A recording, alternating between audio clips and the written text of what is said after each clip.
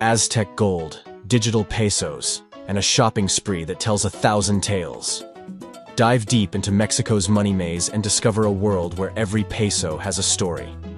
Today, we're embarking on a fascinating journey into the heart of Mexico's financial landscape. If you've ever found yourself daydreaming about the vibrant streets of Mexico City or the serene beaches of Cancun, you've probably also wondered about the colorful currency that fuels this incredible nation. That's right. We're talking about the Mexican peso, and by the end of this video, you'll be a mini expert on all things related to money in Mexico. Hola, Miguel. Hola.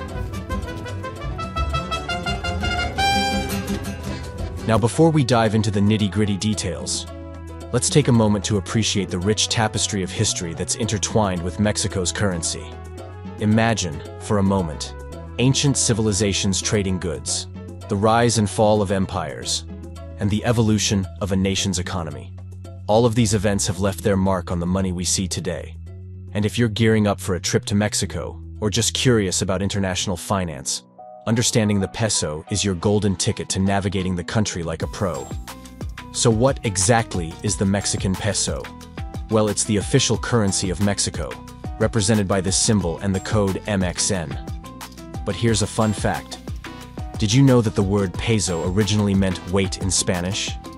It was used to refer to gold or silver coins with a specific weight.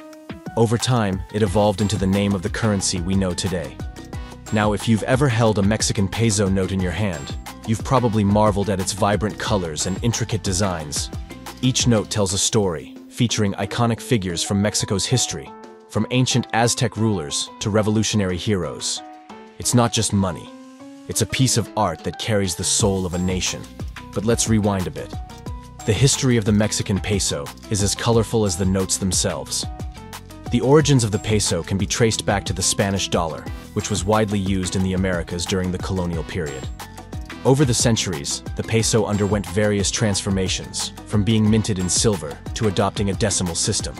Today, it stands as a testament to Mexico's resilience and adaptability in the face of economic challenges. Speaking of challenges, if you're a traveler or a business person, you know that currency exchange rates can be a bit of a roller coaster. And when it comes to the Mexican peso, it's no different. The exchange rate between the peso and other major currencies, like the US dollar or the euro, fluctuates based on various factors, from global economic trends to domestic policies. So if you're planning to visit Mexico or do business there, keeping an eye on these rates is crucial. Mexico. They've got muchas, muchachas, amigos. Now, for those of you who love a good story, here's a little anecdote. Back in the day, the Spanish dollar, which was the precursor to the Mexican peso, was widely used in many parts of the world, including the United States.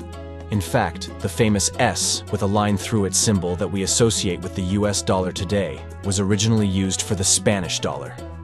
Over time, as the US developed its own currency, the symbol was adopted for the dollar.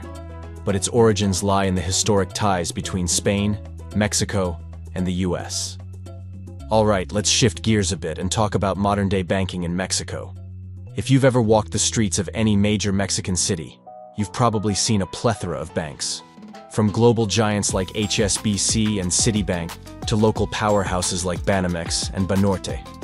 These banks play a pivotal role in Mexico's economy, offering a range of services from personal savings accounts to business loans.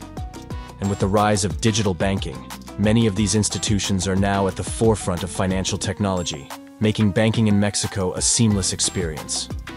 But here's a pro tip for all you travelers out there. While credit and debit cards are widely accepted in urban areas, it's always a good idea to carry some cash, especially if you're venturing into rural regions or local markets. And when it comes to withdrawing money, ATMs are your best bet. They're abundant and offer competitive exchange rates. Just be mindful of any transaction fees, especially if you're using an international card. We've covered a lot of ground, but bear with me. We're about to delve into one of the most intriguing aspects of Mexico's financial landscape remittances. For those unfamiliar with the term, remittances refer to money sent by migrants to their home countries. And in the case of Mexico, with a large diaspora spread across the globe, remittances play a significant role in the country's economy. In fact, they're one of the top sources of foreign income for Mexico, surpassing even oil exports. These funds, sent by hardworking individuals to support their families back home, are a lifeline for many communities, ensuring that basic needs are met and dreams are realized. Let's dive deeper into this phenomenon. Imagine being thousands of miles away from home, working tirelessly in a foreign land, and then sending a portion of your hard-earned money back to your loved ones. It's a gesture of love, sacrifice, and commitment. For many Mexican families, these remittances are not just about money. They're a symbol of hope and a promise of a better future. They're used to build homes, fund education, start businesses, and even support local community projects. In essence, they're a driving force behind grassroots development in many parts of Mexico. But here's something you might find surprising. The process of sending money has evolved dramatically over the years. Gone are the days when people had to rely solely on traditional banking channels or money transfer agents. Today, with the advent of digital technology, sending remittances has become faster, cheaper, and more accessible. Platforms like TransferWise, Remitly, and even PayPal have revolutionized the remittance landscape, ensuring that money reaches its destination safely and efficiently. Now, while we're on the topic of modern financial practices, let's talk about something that's been making waves globally digital currencies and fintech.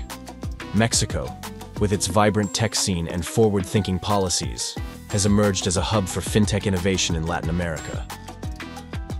From mobile wallets and peer to peer lending platforms to cryptocurrency exchanges, the Mexican fintech ecosystem is buzzing with activity.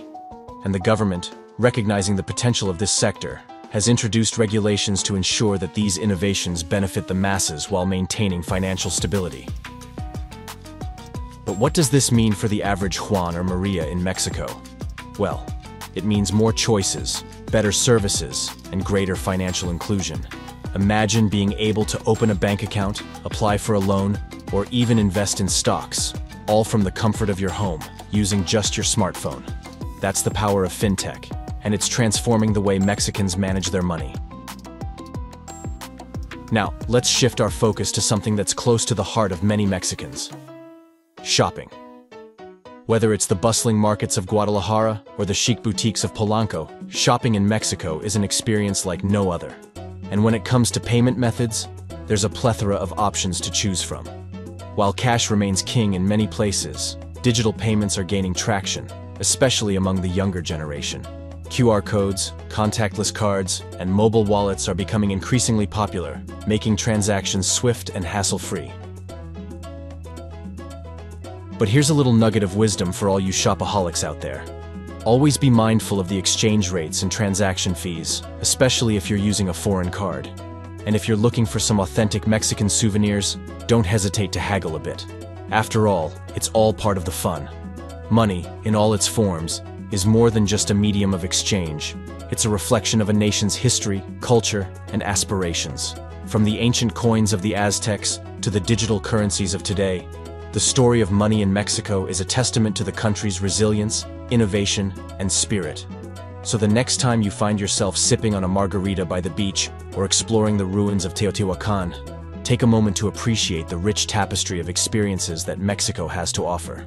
And remember, whether you're spending pesos, sending remittances, or exploring the world of fintech, you're not just engaging in a financial transaction. You're becoming a part of Mexico's incredible journey.